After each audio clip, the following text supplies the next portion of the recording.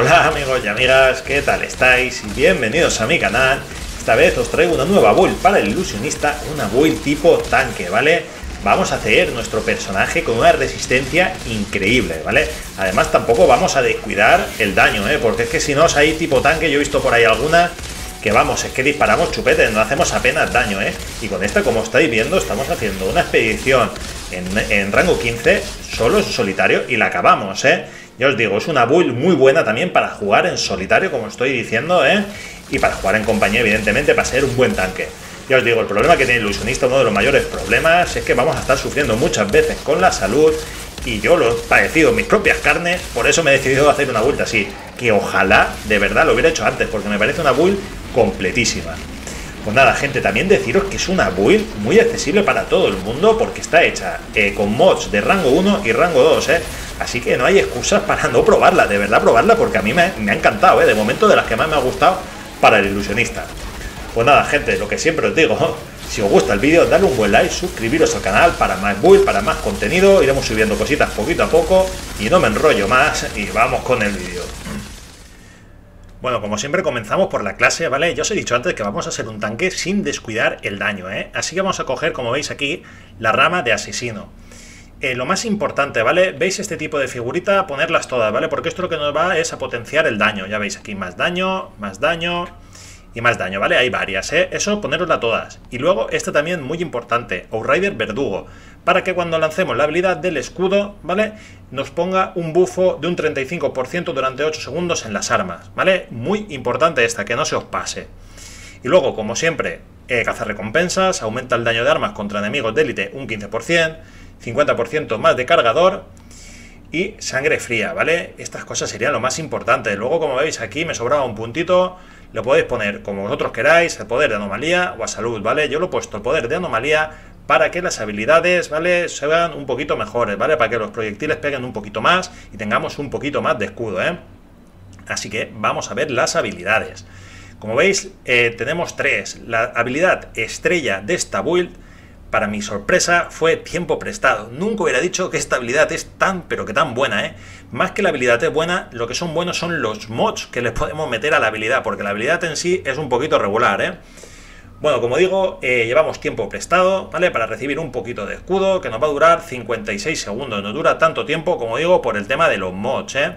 Ya sabéis que lo podemos lanzar, ¿vale? Se nos marca una casilla, o sea, nos marca como si fuera eh, un poder de la anomalía en medio, ¿vale? Nos podemos mover y luego podemos teletransportarnos. Eso es lo de menos. Más que nada es para recibir el escudo y para los mods. Luego, trampa lenta, como siempre digo, nuestro salvavidas, ¿vale? Esto nos va a sacar de mil y un apuros. Y luego los proyectiles pérfidos, ¿vale? Para hacer daño. Lo de la potencia de fuego, esto, según tengáis el poder de la anomalía, os va a hacer un daño u otro, ¿eh? Así que tampoco lo descuidéis mucho porque esto va a ser bastante importante para hacer daño. Pero como os digo, la habilidad estrella es la de tiempo prestado. Bueno, ya tenemos las habilidades, vamos con las armas. Eh, mirad la potencia de fuego que tenemos, 157k y el poder de anomalía 61,6. ¿vale? La potencia de fuego podría ser un poquito baja, pero mirad ahora, ¿eh? hacemos así, echamos el escudo y mirad ahora, ¿eh? por arte de magia, 231.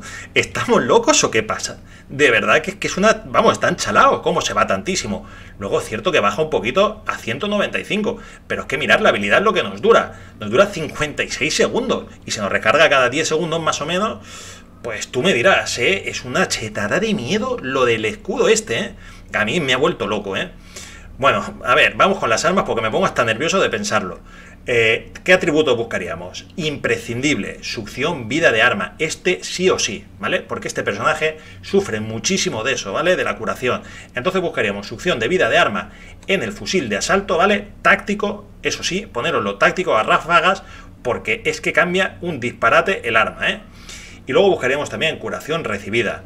Yo cambiaría aquí succión de vida de habilidades por penetración de armadura, pero bueno, esto ya es bastante complicado de sacarlo, perfecto. Pero si os tocara así, succión de vida, curación recibida y, y penetración de armadura, ¿vale? Eso sería la ideal. Y luego los mods, como veis aquí, cadenas mortales, muy pero que muy recomendable, ¿vale? Además, cada dos segundos, de verdad que esta, este mod es de locos también. Y móvil perpetuo, el que pusimos en la anterior build, ¿vale? Para así cuando tiremos los proyectiles pérfidos, siempre vamos vigilando un poquito los enemigos que le queden poquita vida a ser posible y nos lo dejamos para el final y así vamos recargando automáticamente, ¿vale? Es estupenda esta combinación, de verdad, ¿eh? Y luego en la, en la secundaria llevaríamos una ametralladora ligera, ¿vale? También construcción de vida de arma, sí, las dos construcción de vida de arma, porque es que cuando cambiemos de arma se nota, ¿eh? es que necesitamos, es imprescindible con este personaje llevar esto. También buscaríamos, a ser posible, curación recibida. Luego cambiaría el poder de estado o la succión de vida de habilidades por daño a corta distancia. ¿Por qué? Porque esta ametralladora la vamos a gastar más que nada para cuando hagamos las incursiones, que tengamos muchos enemigos cerquita, ¿vale? Porque llevaremos el mod metralla de huesos. Fijaros que nos dice que los disparos mortales hacen explotar los huesos de los enemigos y los convierten en metralla que inflige 200.000 bueno, 200.000 más o menos de daño y hemorragia a los enemigos dentro de un radio de 5 metros cada segundo. O sea, de verdad que esto también es la leche. Entonces, claro, eh, para los bichitos estos pequeñitos, siempre me dejo alguno por ahí. Y cuando veo cambio a la metralleta, pum, lo matamos y hacemos daño y hemorragia a los enemigos cercanos, ¿eh? También, como veis, llevo el mod de Strige, porque nos devuelve el 30% del daño de disparos críticos, se nos devuelve como salud. Tremendo, ¿eh? También un mod muy bueno. Ya veis lo que os he dicho, ¿eh? Mods de rango 2. No vamos a tocar ninguno de rango 3 de momento, ya subiremos una build cañera cañera, pero de momento con estos mods, de verdad, que es la leche, ¿vale? Y luego, como siempre digo, eh, las pistolas, esta o el revólver, el que os dé la gana, porque no lo vamos a gastar apenas, ¿vale? Bueno, pues ya veis, ¿eh? Succión de vida de arma imprescindible, cadenitas y metralla de huesos, ¿vale? Ya tendríamos las armas.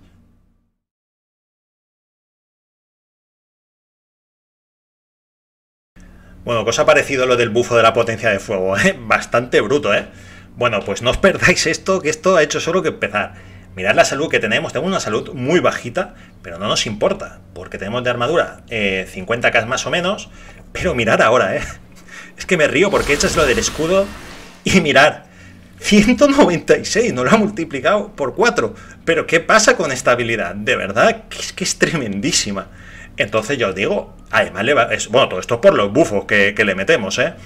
Así que bueno, luego entraremos a, a meternos en más detalles. Voy a deciros los atributos que tenemos que buscar en las piezas de armadura.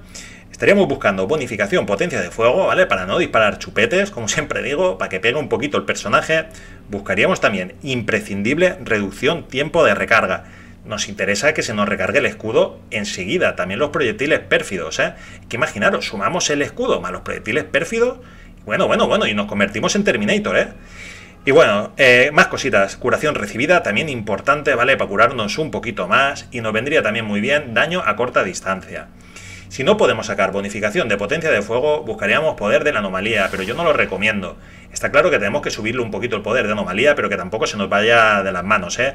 Yo lo tengo solamente en una pieza y así me funciona muy, pero que muy bien. Y bueno, vamos con los mods, ¿eh? Los mods casi todos son de rango 1, ¿eh? Ni rango 3 ni hostias. Como siempre digo, hay que prestarle mucha atención a los mods de rango 1 porque es que hay veces que son mejores que los de rango 3. O si no mejores, son muy buenos si los combinamos bien. Bueno, le vamos a meter tres bufos al tiempo prestado. El primero sería este, escudo ofensivo. Mientras la habilidad está activa, otorga 38.600 de potencia de fuego. Yo creo que esto está mal porque en el momento que lo echamos, hostia, si es que nos sube muchísimo más.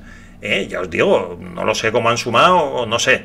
Pero bueno, eh, este imprescindible porque nos va a dar un bufo muy importante a la potencia de fuego. Luego, ¿cuál más buscaríamos? Buscaríamos tiempo prestado, ¿vale? Este es el de la armadura. Eh, imaginaros qué chaladora. Es que nos da 146.275 de armadura y un 30% de resistencia. Por si no nos ha dado poca armadura, venga, un poquito más de resistencia. De verdad que, vamos, me vuelvo loco. Y luego, ¿cuál más buscaríamos? A ver, creo que lo tengo aquí. Y este, ¿vale? Tiempo estirado. Aumenta la duración de la habilidad en un 100%. Combinamos estas cosas y somos invencibles. No nos tumba ni el tato, ¿eh? Además que vamos a hacer daño. Luego también buscaríamos darle un bufo a los proyectiles pérfidos, ¿vale? Como veis, este eh, cargador adicional imprescindible para llevar dos cargadores. Luego, ¿cuál más? Lo tengo por aquí, proyectiles pérfidos, ¿vale? Para que mientras esté activa la habilidad nos dé un bufo de un 30% del crítico y luego giro potente, mientras la habilidad de fuego está activa, un 15% más de fuego en las armas, ¿vale? Y luego eh, le he puesto este porque me gusta mucho, la cúpula del trueno, ¿vale? Que nos da un 100% de escudo cuando se acaba la habilidad. Entonces siempre digo que echamos esta habilidad cuando estamos tiesos, pues bueno, nos va a dar un 100% de escudo al acabar. La recomiendo, ¿vale? Esta sería la única que podríamos poner por otra, pero yo la llevo y me va muy pero que muy bien. Y luego los de rango 2 llevaríamos eh, actitud de emergencia, ¿vale? Para convertirnos en golem cuando la, eh, cuando la salud nos caiga por debajo del 30% durante 4 segundos, pero ya os digo que apenas lo vamos a gastar, pero bueno, si nos pasa, oye, para hacernos un golem y que no nos maten.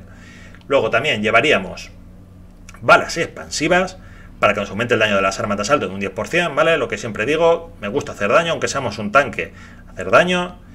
Y luego espacio personal, lo mismo, para hacer más daño de las armas a corta distancia, un bufo de un 15%. Así que ni tan mal, ¿eh?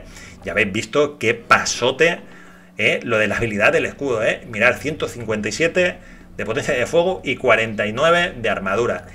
Y es que echas esto y bomba, ¿sabes? 231 y 196. Bueno, eh, le metemos los proyectiles pérfidos y vale, somos un tanque muy, pero que muy poderoso.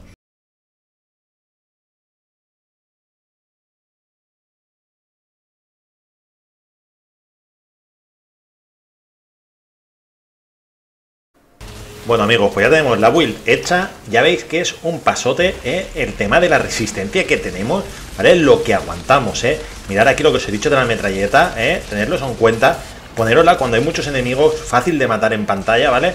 Porque van a reventar, pegáis un castañazo, ¿vale? Lo de la metralla de huesos se explota y va limpiando. Luego eh, podemos seguir perfectamente con el arma o ya bien cambiar al arma principal.